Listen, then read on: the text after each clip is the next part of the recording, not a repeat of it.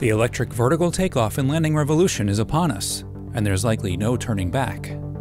That was the message from a growing number of opinion leaders at this year's Heli Expo, and one of the major players on this frontier is Bell, which brought its urban air taxi concept to the exhibit hall. The company invited attendees to demo the concept through virtual reality experiences inside the mock-up. We asked Bell's Director of Innovation, Scott Drennan, when he thinks this technology could appear in the real world.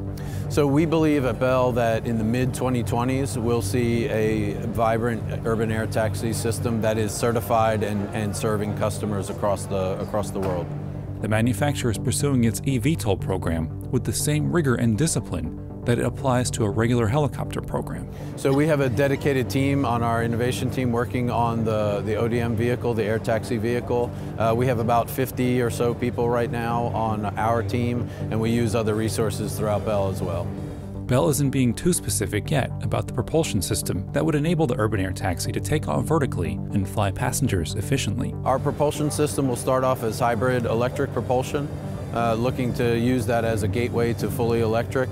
And of course, we're looking at our kind of foundational technology of powered lift, uh, a vehicle that will take off and land like a helicopter but cruise on, on a wing.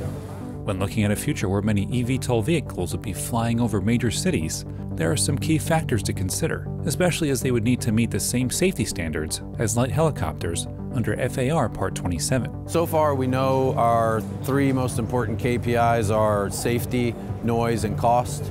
Uh, safety, we don't start without it, uh, but of course this vehicle also wants to operate in an urban environment, so noise is a critical factor, and the cost in order to reach the masses for true day-to-day -day mobility solutions is also a huge factor. Beyond Bell, companies like Airbus, Boeing, Embraer, Intel, Amazon, Honda, Toyota, and Uber are researching and investing in an eVTOL future, so watch this space.